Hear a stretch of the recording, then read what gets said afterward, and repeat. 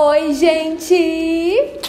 No vídeo de hoje eu trago para vocês um cronograma capilar completo usando apenas uma máscara de tratamento e várias receitinhas caseiras. Eu vou passar uma receita caseira para cada dia do cronograma, né, para cada etapa. Esse vídeo tá recheado de dicas e é perfeito para quem não tem muitas máscaras de tratamento ou para quem não quer gastar dinheiro com muito produto, enfim. É um cronograma capilar muito power que se você seguir ele e for adaptando aí também, né, de acordo com o seu cabelo, com o que você gosta, você vai ver que vai dar um resultado muito bom. Então é isso, bora lá!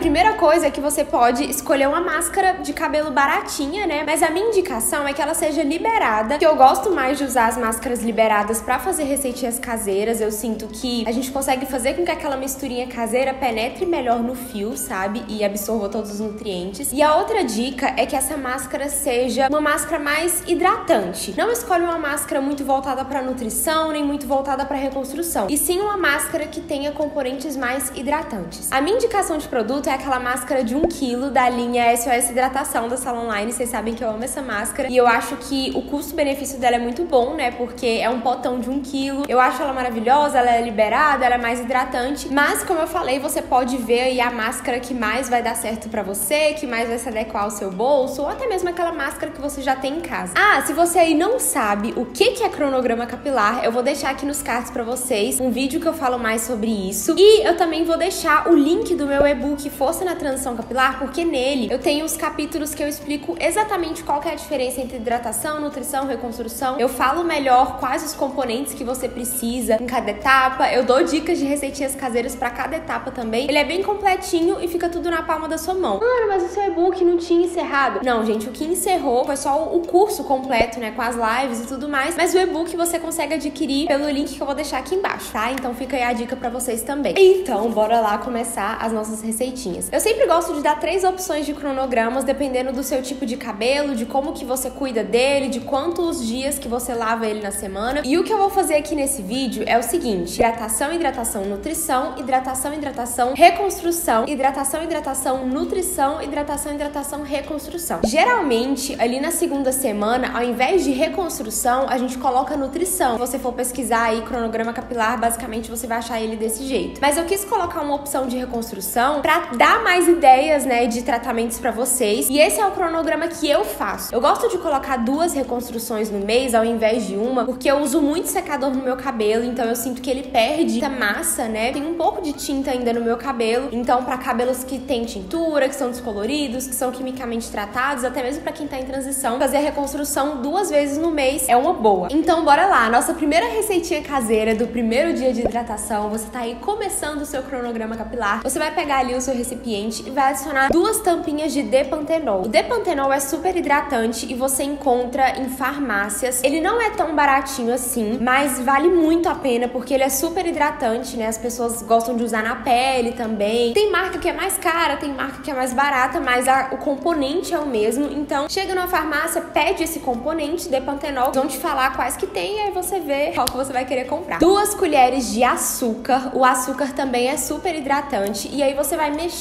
bastante até o açúcar derreter. Se você quiser, você pode derreter o açúcar em banho-maria, enfim, só para não ficar com aquelas partículas, né, para o açúcar não ficar grosso quando você for aplicar no seu cabelo. E aí eu adicionaria umas 4 colheres de máscara por causa da quantidade de cabelo que eu tenho. Mas se você tiver mais cabelo, você coloca mais e aí você pode aumentar um pouquinho mais na quantidade de componentes, ou então você pode diminuir caso você tenha menos cabelo e aí você coloca menos máscara também, enfim. Eu tô aqui passando a medida do meu cabelo para vocês e aí vocês vão adaptando e testando também. Para nossa próxima hidratação do mês, né, a gente vai usar gel de tapioca. O gel de tapioca tem já vídeo aqui no canal, tem dois vídeos de tapioca aqui no canal, inclusive. Vai muito da sua quantidade de cabelo, mas eu imagino que sejam umas duas colheres de sopa e um copo de água. E aí você vai mexer bem no fogo. Não espera ficar muito duro. Antes mesmo de começar a endurecer, você já desliga o fogo e continua mexendo com o fogo desligado, porque rapidinho pega o ponto. E se você deixar muito tempo, pode ficar muito duro e virar uma cola, assim, um negócio meio estranho. Mas a tapioca é uma das coisas que mais hidratam o meu cabelo, assim, que eu sinto um efeito surreal. Eu amo e muitos de vocês aí assistem os vídeos das hidratações de tapioca aqui do canal e me mandam direct, me mandam mensagem, porque vocês veem que é realmente muito eficaz. Depois a gente vai adicionar três tampinhas de glicerina. Eu coloquei três porque geralmente a tampinha da glicerina é menor. E a glicerina você vai procurar farmácias também, né? Tem de várias marcas, é só você procurar pela glicerina vegetal. Geralmente as pessoas também gostam de usar para hidratar a pele, né? Como eu falei. E a glicerina ela é mais indicada para você usar em dias úmidos. Ou você coloca uma touquinha, né? Com água, você pode borrifar água dentro da touquinha. Ou você faz dentro do banheiro quando o clima estiver bem úmido por causa ali do chuveiro, enfim. E aí depois eu vou adicionar duas a três colheres de máscara. Essas receitinhas que a gente faz o gel, né? Gel de tapioca, gel de amido de milho, enfim, não precisa adicionar tanta máscara assim, porque o gel rende bastante a misturinha. Então é ótimo porque você economiza ainda mais produto. E chegou o dia da nossa nutrição. Gente, eu amo nutrição. Quem me acompanha aí, né, já sabe. Para esse dia de nutrição, antes de já partir para máscara, no dia anterior à noite você vai fazer uma umectação com azeite de oliva. Sim, você vai pegar o azeite de oliva que está na sua cozinha e vai fazer a sua umectação noturna. Eu simplesmente amo umectação noturna com azeite de oliva. Se você tiver um óleo creme, algum produtinho que seja específico para umectação noturna, você pode misturar junto com azeite de oliva para te dar uma consistência melhor na hora de aplicar no cabelo e também para tirar um pouquinho daquele cheiro super agradável do azeite. Caso não tenha, não tem problema, aplica só o azeite mesmo. Também tem um vídeo aqui no canal que eu falo só sobre umectação noturna, se você tem alguma dúvida, eu vou deixar aí nos cards, depois que você assistir esse vídeo, você corre para esse vídeo da umectação noturna. No dia seguinte, você vai lavar o seu cabelo normalmente com shampoo e depois vai pegar meio abacate, colocar ali no liquidificador, vai adicionar creme de leite. O creme de leite você vai no olhômetro. Você vai adicionar uma quantidade que dê para bater o abacate e que ele fique com uma consistência firme, mas que não fique empelotado também, né? Que fique realmente com uma consistência de creme. E aí você adiciona umas duas a três colheres da sua máscara. Dessa vez também a gente vai colocar menos máscara, né? Não vai ser quatro colheres como eu costumo colocar. A misturinha de abacate também rende muito. Voltamos para hidratação. Dessa vez a gente vai fazer o gel de amido de milho. Eu também amo dar aquela desmaiada no fio, ajuda no frizz. E para fazer o gel de amido de milho é a mesma coisa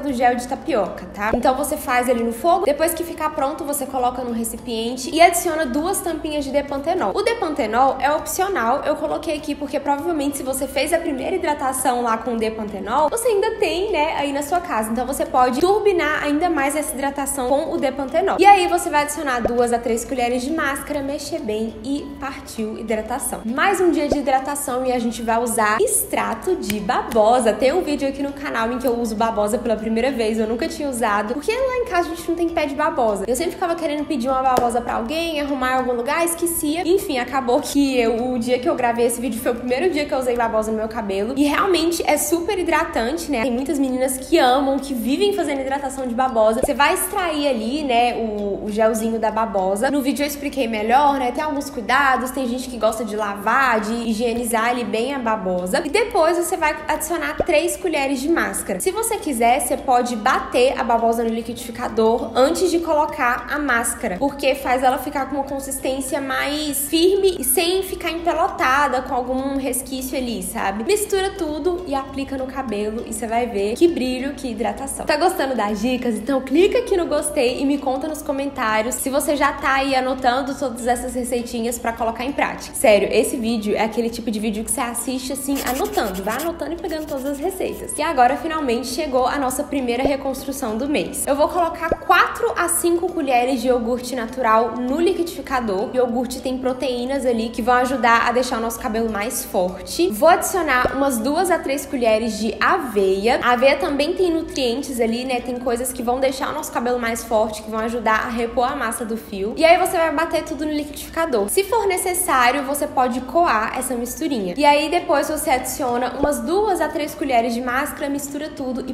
partiu reconstruir esse cabelo. Para a próxima hidratação, a gente vai adicionar 4 colheres de máscara de tratamento, café solúvel. A dica é usar o café solúvel, porque se você usar o pó de café normal, ele é mais grosso, então ele não vai se dissolver e vai virar uma maravilha assim no seu cabelo. Fica difícil de tirar depois. Você pode adicionar um pouquinho de água ali no café solúvel para dar aquela diluída. Nada que deixe muito ralo, né, como se você fosse tomar mesmo o café, mas só para deixar uma consistência mais molinha e fácil de misturar na máscara. Depois você vai adicionar 3 colheres de mel. O mel é cheio de vitaminas ali que vão ajudar a deixar o nosso cabelo mais hidratado. Na próxima hidratação, a gente vai usar beterraba. Você vai colocar ali uma quantidade de beterraba que você achar que é suficiente pro seu cabelo. E aí você vai bater no liquidificador com leite ou creme de leite. Eu sei que o creme de leite ele é mais voltado para nutrição, mas não tem problema. É só para ajudar a deixar uma consistência mais cremosa e fácil de aplicar, para não ficar nenhum resquício de beterraba. E aí você adiciona duas a três colheres de máscara, mexe bem e vai aplicar aquela misturinha rosa no seu cabelo. Bora para mais um dia de nutrição e a gente vai adicionar cinco colheres de óleo vegetal, pode ser o óleo vegetal da sua preferência. Óleo de coco, óleo de girassol, óleo de manga, óleo de uva, enfim, você escolhe, mas tem que ser um óleo vegetal. E aí você vai adicionar 3 a 4 colheres de máscara, mexe bem e aplica no cabelo, concentrando principalmente nas pontas, que é a parte do nosso cabelo que mais precisa de óleo. Para a próxima hidratação, a gente vai bater no liquidificador uma cenoura e uma quantidade de leite de coco que você acha ideal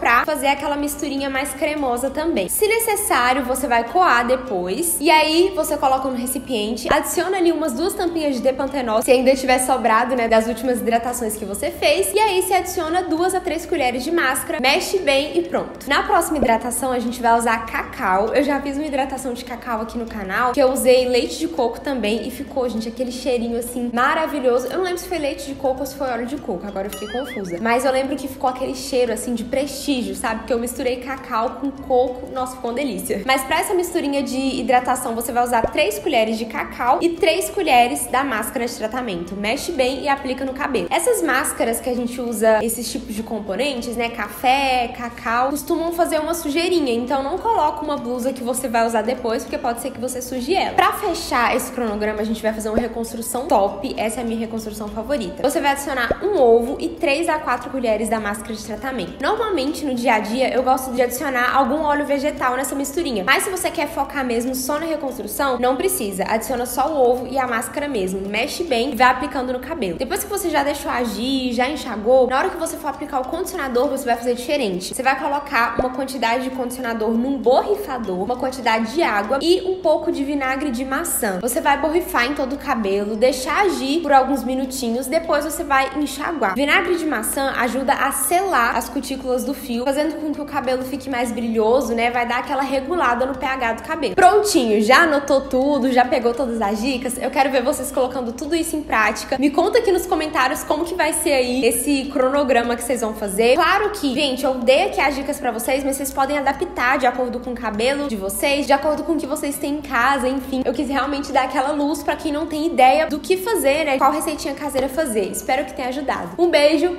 fiquem com Deus e até a próxima. Tchau!